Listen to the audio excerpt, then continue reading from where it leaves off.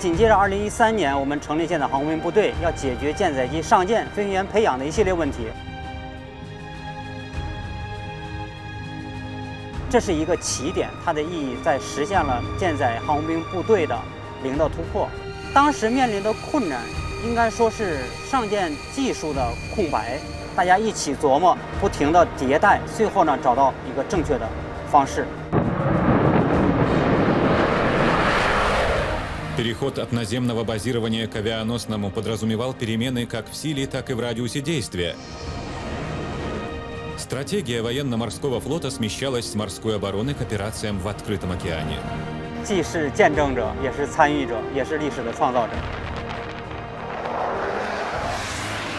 我们第一次就采用了低空发射反舰导弹的这样一个战术铺面，这个是紧贴实战的。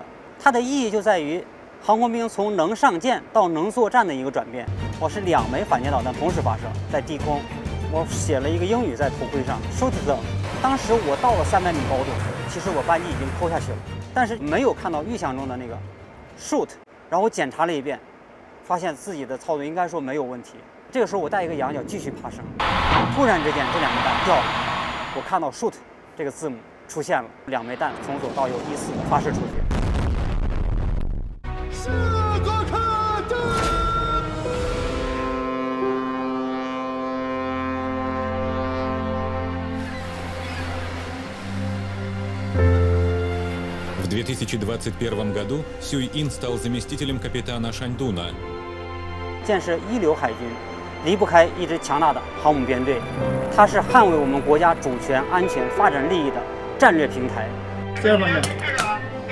Порт приписки авианосца находится в южно-китайском городе Санья, на страже Южно-Китайского моря.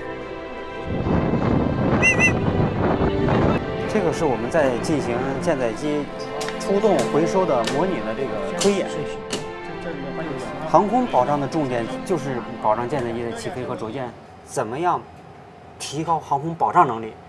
我具备 快速出动和快速回收的保障能力，这是我要努力的目标。呃，每一个飞机的停机位距离非常近，充分的运用了整个甲板这一万五千多平方米的这个面积。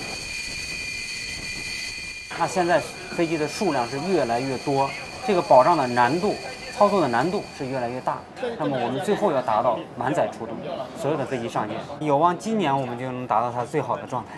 我们设定了这个最大的出动量的这个飞机，然后飞机的回收呢也尽可能的快，让飞机以最短的间隔来着舰。好，然后就是它。叫 clean deck 啊，foul deck 这两个两个状态。必须进行远海的训练，才能真正成为一个合格的舰载战斗机的飞行员。没错没错，我们在渤海里面永远练不出太平洋的能力。我们责无旁贷，带着这支队伍要走向远海，走向战场，来实现我们的使命任务。